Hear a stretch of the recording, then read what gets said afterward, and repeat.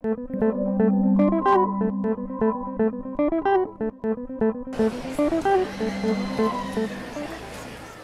façana de l'Ajuntament de la Vila lluïa així de maca, llaç i llums, roses, violetes o morades. Tant és el color, sinó el motiu pel qual es fa. Ara fa uns dies es celebrava el Dia Internacional contra el Càncer de Mama i Molins ha volgut sumar-se als actes reivindicatius i solidaris que s'han dut a terme. Aquest n'és un, ja fa més de 3 anys que es fa al municipi. I és que tot esforç és poc quan parlem de càncer.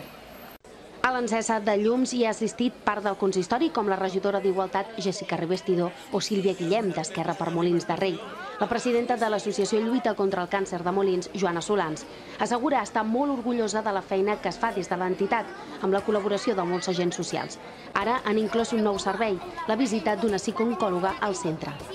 Fa molts i molts i molts anys que feu campanya per sensibilitzar respecte al càncer de mama a la, a la nostra vila. No només feu això, sinó que el que feu és realment durant tot l'any molta feina per sensibilitzar i recollir diners per ajudar a la investigació, ajudar a, a, a trobar maneres de millorar el tractament de l'enfermetat i en això és veritat que sempre expliquem amb el, amb el sopar que feu anual que per sort i gràcies a la feina que entre les quals sou vosaltres es van fent avenços, avenços que en queden, queden molts, malauradament per fer, però sempre cal en moments com aquests també sempre fer un crit a l'esperança de que a pesar de que eh, és una enfermetat molt dura, molt complicada i que afecta molt, sí que també es va millorant. A l'acte hi ha assistit força gent que després ha aprofitat per passar el vespre de divendres a la plaça de la Vila.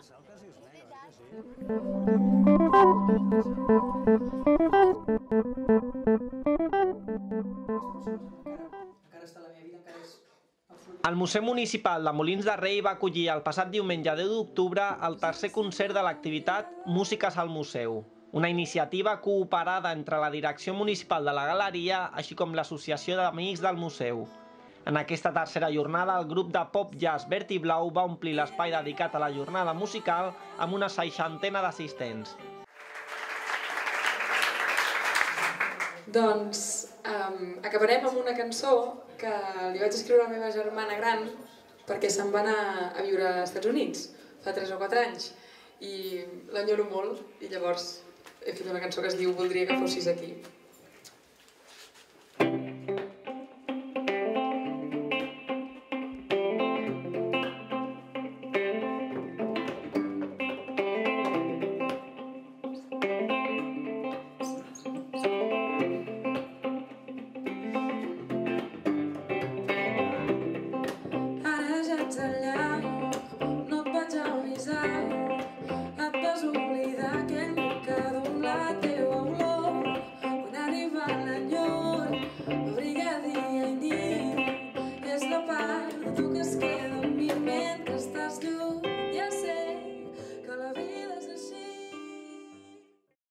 Des de dos quarts de vuit de la tarda, el grup liderat per Vic Moliner com a compositor baix i contrabaix va iniciar la presentació dels seus dos discos fins a la data, Un fràgil coral de l'any 2011 i L'horitzó de l'any 2013.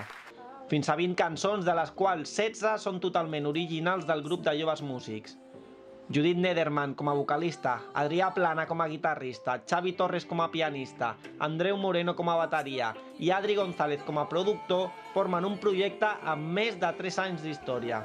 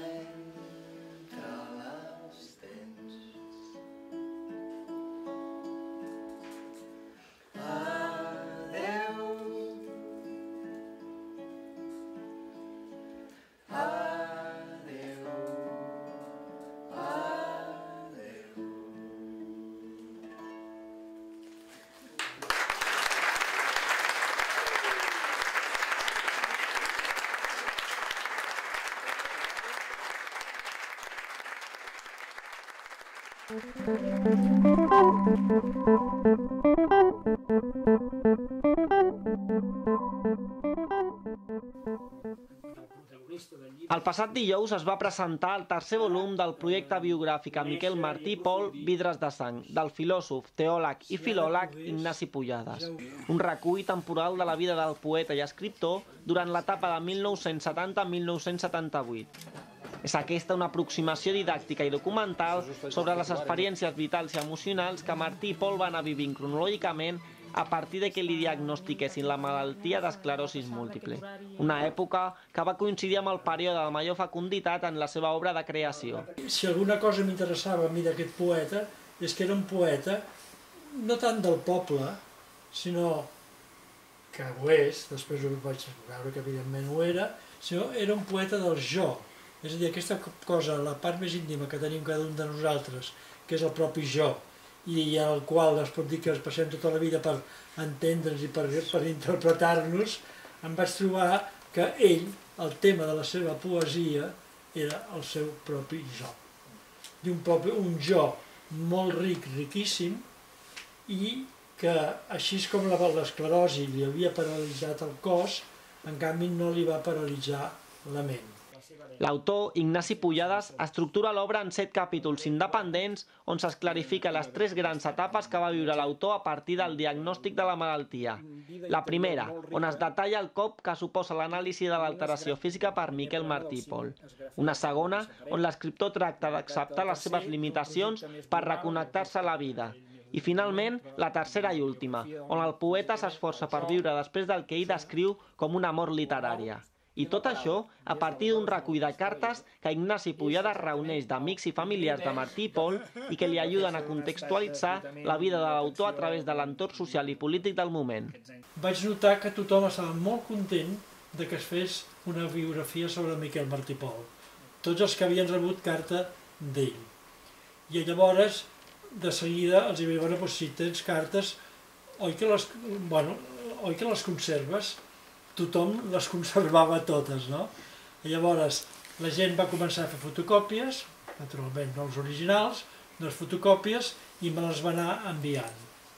I llavors, a mesura que me les anava enviant, jo les anava ordenant cronològicament i anava veient quina era la part que m'interessava o la que no m'interessava.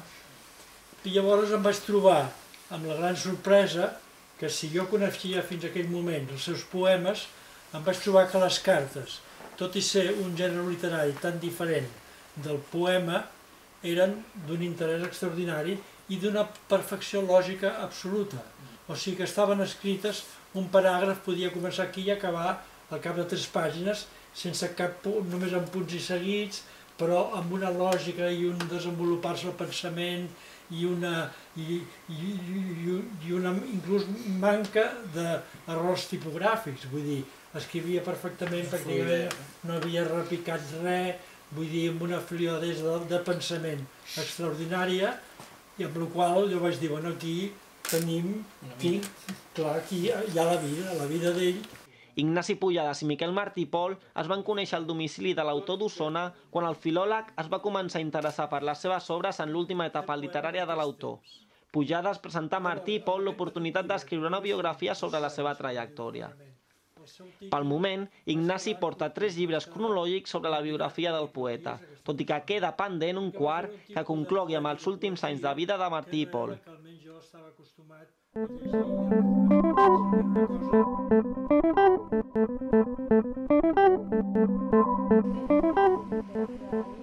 Dissabte al matí, una trentena d'adeptes a Podemos es van reunir a la plaça de la Creu al voltant de les 11 del matí. Era aquesta una assemblea ciutadana organitzada per l'agrupació local amb la intenció de debatre i discutir sobre el paper que havia d'adoptar el cercle a les properes eleccions municipals del març de 2015. La veurem bastant positivament, ha vingut molta gent, de, molta gent nova, molta gent de fora, ha sigut una assemblea oberta, ha sigut una assemblea molt participativa, van ser diversos els representants del cercle que van intervenir per aclarir als assistents les vies per les quals l'agrupació es mouria en els propers sis mesos.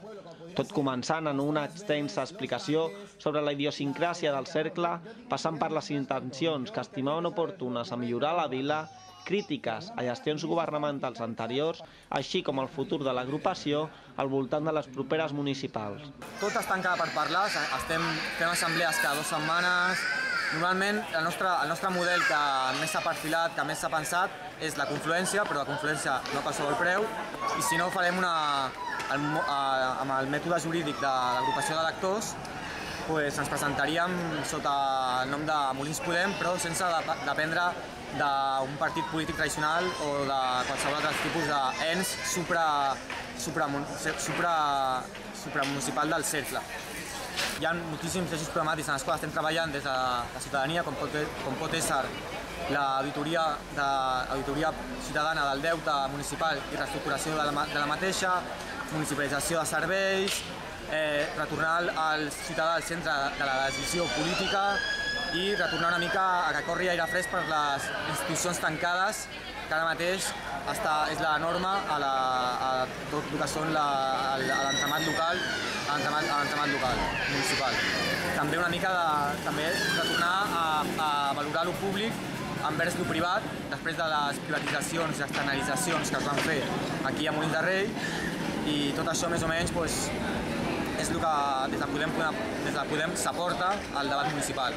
A més de que el ciutadà pot tenir la veu i vot igual, i més enllà de qualsevol tipus de cicle de partit. Un discurs que van arreplegant seguidors a mesura que anava avançant al matí i que es va acabar saldant amb una discussió dialèctica entre el cercle de Podemos a Molins de Rei i alguns representants d'Iniciativa per Catalunya a la vila. El conflicte està originat arrel de la plataforma de confluència social promoguda per Iniciativa per Catalunya Verds Molins de Rei en la qual molta gent d'aquí no ho veiem amb bons, amb bons ulls perquè ho veiem com una marca blanca, iniciativa, aprofitant una mica les noves plataformes que estan creant a nivell ciutadà per, totes, per tot el territori i sobretot per la metodologia que s'està fent, les formes per les quals se'ns va convocar, les formes per les quals s'està donant a terme a la, la confluència sense un compromís ètic fort, sense una metodologia clara, que només està en eixos programàtics en els quals estem d'acord,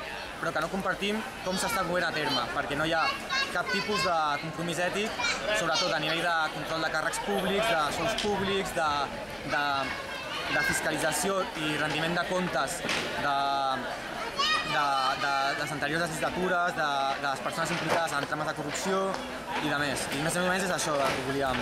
El conflicte neix d'aquí, perquè nosaltres volem confluir, però no volem confluir a qualsevol preu. Volem que hi hagi un compromís ètic fort. Tot al final, l'acte va concloure amb una crida a la cohesió i a la unió del poble al voltant d'un futur polític més honest i desinteressat a la vila per aconseguir desfer-se'n de la xarxa de corrupció que, segons l'agrupació, ha envoltat a Molins de Rei en els últims mandats municipals.